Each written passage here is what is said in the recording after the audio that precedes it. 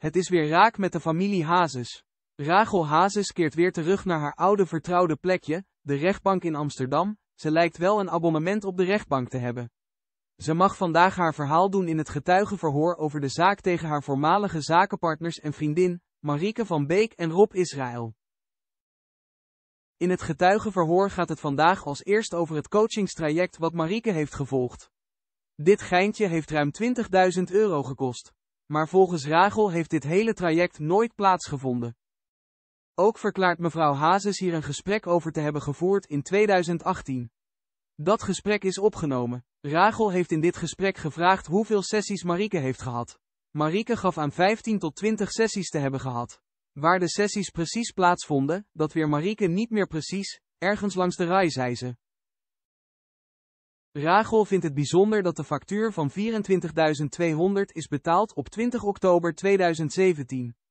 Om die betaling te doen bij de bank is een ingescande handtekening van Roxanne Hazes gebruikt. Uit de testimonial van de website van de coaching blijkt dat Marieke maar twee keer een coaching heeft gevolgd. Maar die krokante vrouw zegt juist weer dat ze nooit een factuur van het coachingstraject heeft gezien. Tijdens de volmachtperiode zijn er verschillende betalingen gedaan. Daar kwam ze achter via de bank. Ze heeft Rob daarmee geconfronteerd en hij gaf aan dat dit was afgesproken.